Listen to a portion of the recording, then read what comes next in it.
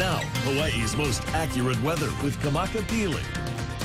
Aloha poa kolu, everybody. Happy Wednesday. Looking at a beautiful shot of a full ohia tree with lehua flowers. Using that as a backdrop for tomorrow and our weather threat. Now, things are starting to change just slightly. We do have uh, continued moderate levels for those winds along with the surf as we do have that high surf advisory still in effect for the east-facing shores of all islands along with the small craft advisory, both in effect until Friday at 6 p.m.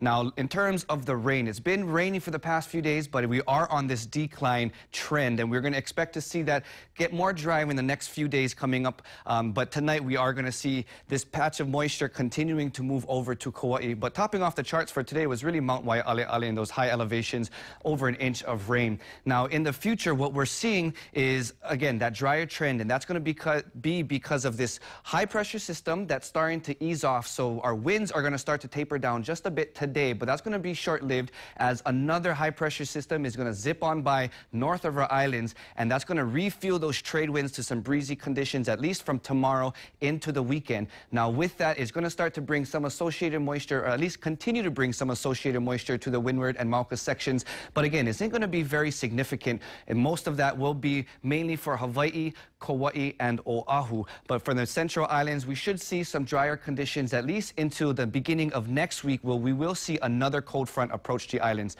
Now, for the Hawaiian moon phase, the moon phase for tonight is known as Kupau. For you fishermen, a good night to go fishing, and for you farmers, a good night to plant uala, which are sweet potato, and kalo, which are taro.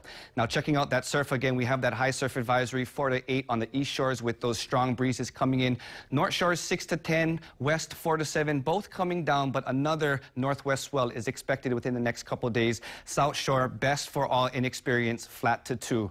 Now, the days ahead of us, again, we are going to start to see a drier trend, but those breezes will continue to last at least until Friday, tapering down and throughout the weekend. By Monday, we're going to have a round of light and variables, but it's going to be okay because right after that, around Tuesday, Wednesday time, that high pressure system should fuel those back up to breezy conditions. And again, that next round of the cold front that should be coming in from the west should reach Kauai and Ni'ihau at this point on Tuesday. Howard and Marissa, back to you.